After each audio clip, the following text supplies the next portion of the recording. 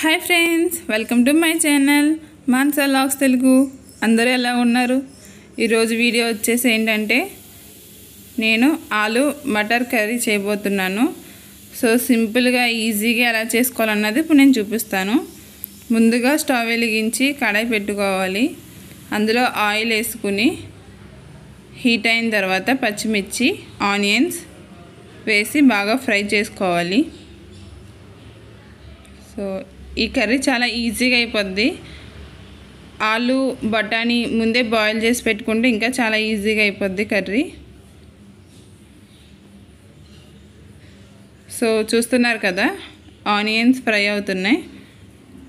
బో golden brown colour వచ్చేదాకా ఇలా ఫ్రై చేసుకోవాలి. ఇలా ఫ్రై చేసుకున్నాక ఇందులో జింజర్ గార్లిక్ పేస్ట్ వేసుకొని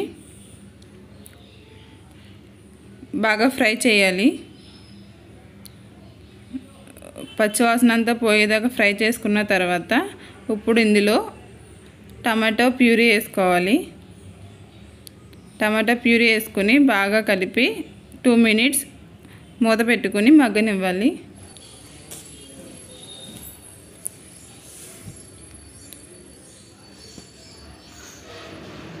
సో ఇప్పుడు బాగా ఫ్రై అయిపోయింది. ఇందులో ఇప్పుడు కొంచెం సాల్ట్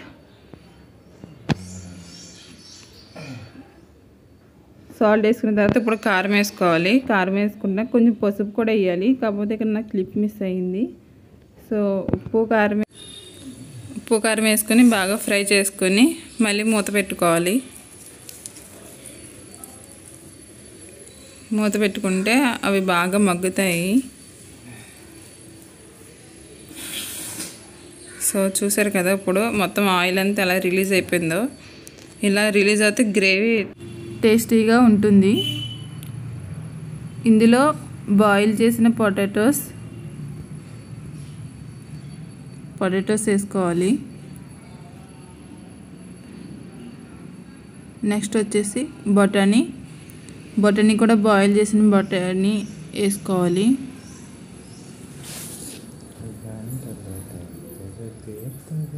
సో ఈ రెండు వేసుకుని ఇప్పుడు దీన్ని బాగా మిక్స్ మిక్స్ చేసుకోవాలి. మిక్స్ చేసుకున్న తర్వాత ఇందులో వాటర్ వేసుకోవాలి. ఇవి ఆల్రెడీ బాయిల్ అయిపోయినాయి కాబట్టి మనకి అంత ఎక్కువ వాటర్ ఇవ్వాల్సిన అవసరం లేదు. మనం కొంచెం వాటర్ వేసుకుంటే సరిపోతుంది. సో వాటర్ వేసాక మిక్స్ చేసి ఇప్పుడు ఇందులో మనం గరం మసాలా యాడ్ చేసుకోవాలి.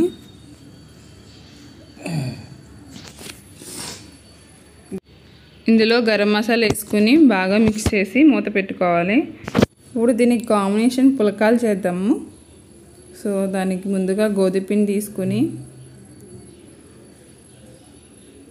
గోధుమపిండి తీసుకుని ఇందులో సాల్ట్ ఆయిల్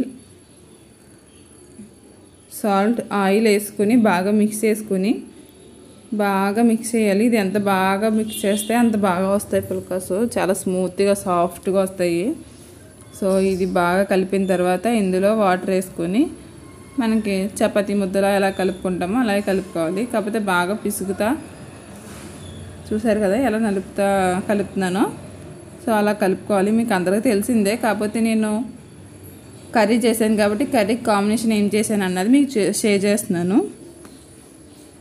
సో చూస్తున్నారు కదా కలిపేసుకుని మూత పెట్టుకుని పక్క పెట్టుకోవాలి. ఇప్పుడు కర్రీ ఎంతవరకు వచ్చిందన్నది చూద్దాం. సో కర్రీ ఆల్మోస్ట్ అయిపోయింది. సో ఇందులో లాస్ట్లో కొత్తిమీర వేసుకుంటే టేస్టీగా ఉంటుంది. కాకపోతే నా దగ్గర లేదు నేను వేయలేదు. మీ దగ్గర ఉంటే మాత్రం మీరు వేసుకోండి. సో కర్రీ అయిపోయింది. ఇప్పుడు పులకాస్ ఎలా చేయాలన్నది చూద్దాము. సో చూసారు కదా పిండి అలాగ మొత్తం అంతా నలపాలన్నమాట మొత్తం. మనం ఎంత బాగా పిండిని పిసిగితే అంత స్మూత్గా వస్తాయి. సో పుల్కలు వచ్చేసి చాలామంది ఫ్లేమ్ మీద కాలుస్తారు. కాకపోతే నేను పెనం మీద కాలుస్తున్నాను. సో చూస్తూ ఉండండి కంటిన్యూ అవుతుంది.